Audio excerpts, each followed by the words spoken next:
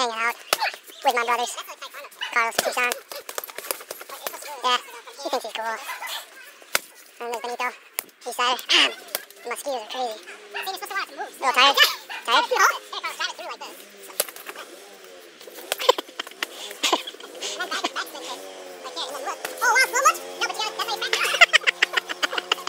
Hey, bees. Bees.